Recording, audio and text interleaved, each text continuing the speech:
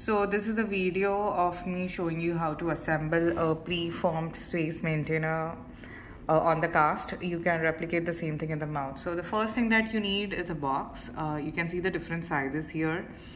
Uh, the, the places where you see multiple bands are the ones which are most commonly used. So you don't have to buy refills of all of them. You can just buy refills of the sizes that I've put multiple bands in. Now coming to what all uh, armamentarians you would be needing. This is a spoon excavator. Uh, this is to remove the band. This is the band pusher. This is to push the band and adjust it properly. This is a cutter of the wires, uh, the loop basically. This is Adam's plier. This is a crimping plier. And here in this box, you can see the small loops and the distal shoe areas, which are the attachments for the bands. So let's begin of how to assemble it. So the first thing is uh, you need to see the tooth and the area and if everything is appropriate. Now you can choose sizes. Now I've already chosen the size number 33. So you see when I'm putting it, I would be like pushing this properly with the band pusher. Now once I'm satisfied with the fit of the band in the mouth, what I can do is I can take a loop from here this is the loop. This is how it looks like. And I will see how it is and how much length I have to cut it. So I will try and hold it here. And I, I realize that I have to cut it till this point. Okay. So what we do is we take a cutter and we put it inside it and we just cut it off. Okay. When you press this it's gonna cut off so I've already cut a loop and kept it to show it to you all. So this is the loop.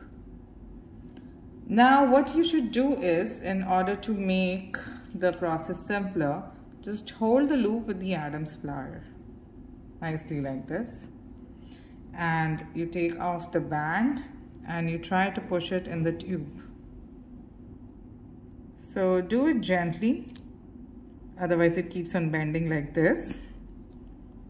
Now, once you get through, so most of the work of the space maintainer is done outside the mouth only. Nothing much inside the mouth. So the child is sitting nicely, getting distracted by watching something on the TV while you're doing the job outside the mouth. Now you see this is fixed here. Now we'll put it back and see if you're happy with the fit. If we are, if we feel it's fitting properly, I'm satisfied with this fit. So I will take it out and now I'm going to use the crimping plier. So this is a crimping plier. It comes with the kit. All I'll be doing is I'll hold it right where the tube goes in and I'm going to press it hard. So I've pressed it. So basically this area has got crimped. So the loop is not going to come out no matter what. I'm going to press it again. So that's it. Again, I'm going to check the fit if I'm happy with the fit, I will ask the child to bite on it, check it from all the angles. Looks pretty nice to me. In the mouth, it's even better. It's the cast, so of course I won't have the gum contour out here. So if I'm happy with it, I'll just remove it. Dry it, the tooth and this. I usually put a light here GIC cement I mix it for a period of 20 seconds. I fix it inside and I cure it with the light and there. I'm done with the space maintainer.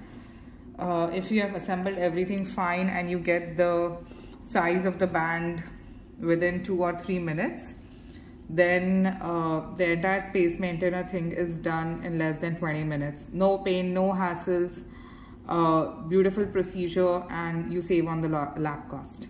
I hope uh, this was self-explainable video and you'll be able to do it nicely on your own. Thank you.